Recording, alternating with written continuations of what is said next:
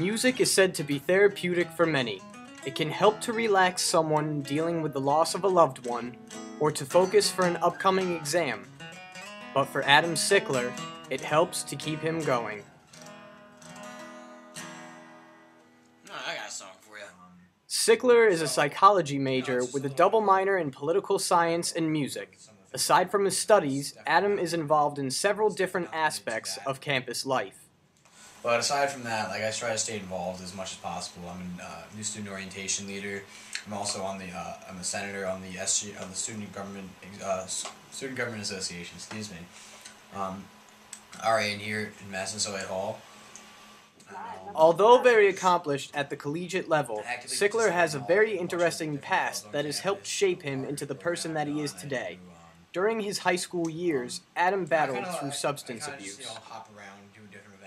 When I was in high school, I you know, over time, I you know I find that uh, growing up, you know, and maturing in a lot of different ways, you know, I've kind of been through a lot of different phases, a lot of different things. Um, I spent a lot of time when I was in high school, you know, in the in the drinking a lot, you know, partying a lot, and um, you know, using a lot of different varied substances. Um, it kind of created a lot number of different problems for me. Um, I uh, I kind of struggled with that for a really long time. I was, you know, a very big, heavy drug user uh, for you know, a number of different substances, you know, mostly like hallucinogenic things. Um, She's just a small town girl living in a lonely world. To me, it was more of a just like a it was more just like kind of an exploration thing. You know, I originally started drinking because um, I was like very against it until I got to high school and I was with the cross country team and my team captain was like telling me all these stories about the parties I've been to and just like the ridiculous things that they do and I was like that sounds like fun. You know, I kind of want to get in on that.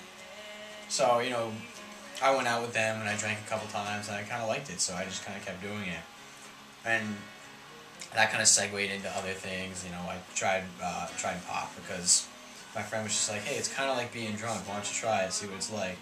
And I tried it, and initially, you know, I was kind of torn between like doing that and uh, and uh, because I was a, I was a very serious track athlete for a really long time, so that was the kind of the, the the thing that held me back for a while. But then eventually shifted the balance. But like I like I was saying though, I think initially what kind of caused me to to um, explore this was curiosity and also kind of just want to be part of the group at the same time. I think that's what everybody does. Like, you know, when it, a lot of people will come to college and they're just like, well, this is what everybody else is doing, and even though they might want, not want to admit it, you know, that I feel like that's kind of part of the reasoning behind everybody's choice to drink. Amy Mason, the resident director of Reed Hall, is well aware of the pressures that college students face when first arriving on a college campus. Yet she knows that there are several options students have should they ever find themselves in a situation where they are facing substance abuse. Basically, I would say that a lot of it is probably a new environment, especially for first year students. Um, currently, I am working in Reed Hall with 150 first year students.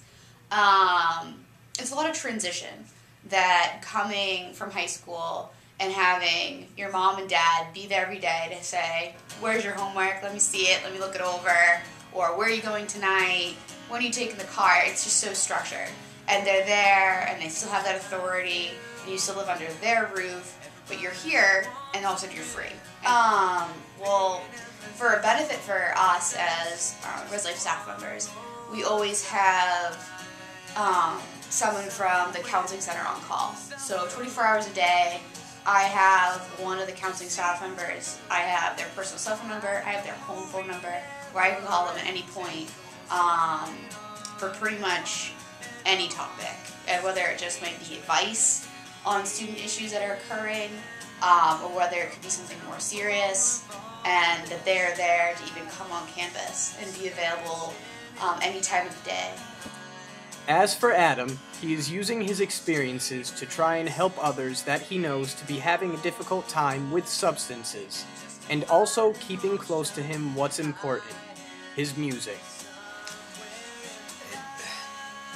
My biggest thing is trying to put it in perspective what's actually happening, is what's perceived by the person and what's actually happening. Like, you have to kind of step out of your own shoes and look at it from like all your friends' perspectives, because I think the changes that happen because of um, substance abuse aren't necessarily apparent to someone who's doing it. It's more like you're going to be acting differently, and people are going to notice it.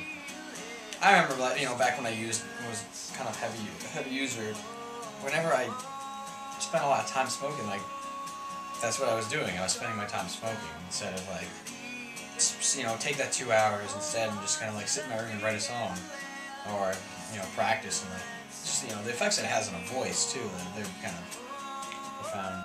I'm constantly, it's constantly on my mind. Like I'm driving forward, I'm doing well. I don't want to take two steps backwards. So I guess that is kind of the music is a very big driving force in keeping me away from it.